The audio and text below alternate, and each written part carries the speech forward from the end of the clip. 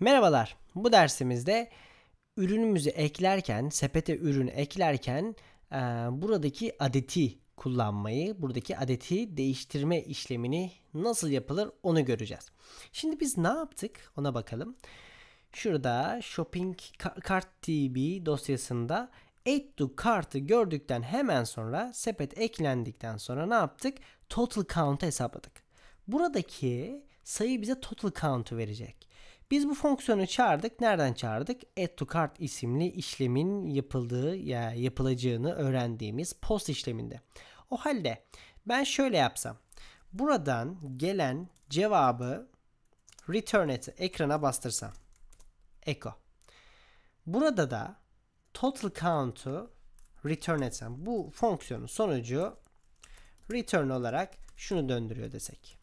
Ne demiştik? Biz burada çağıracağız. Burada bir işlemler yapacak. Belki yeni bir array oluşturacak. Session'da yeni bir indis oluşturacak. Yani sonuçta bizim sepetimizi oluşturacak. Kaç adet olduğunu hesaplayacak burada. Toplam adeti bulduktan sonra değerini Session'a atadıktan sonra değeri bana geri gönderecek. Değeri bana gönderdiğinde ben bunu echo ile ekrana basarsam custom GS dosyasında bulunan buradaki fonksiyona ne yapacak? Response'un içerisine oradaki adeti yazacak. Ben o adeti ekrana basmak yerine hatta ilk olarak ekrana basalım istersen daha iyi olur. İncele diyorum. Şurada konsol dedim.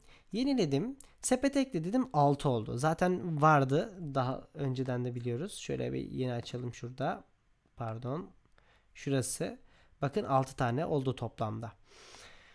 6'yı ben buraya yazmaktansa bir daha tıkladım 7 oldu mesela. Bir daha tıkladım 8, 9, 10.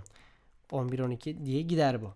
Ben burada konsola yazmaktansa bunu hemen burada library içerisindeki navbar'a gidip neydi bunun adı? Card count.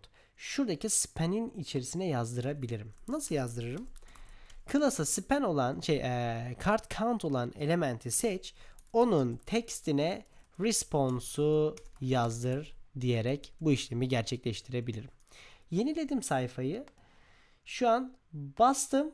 Gördüğünüz gibi 15 mi oldu? 15 oldu.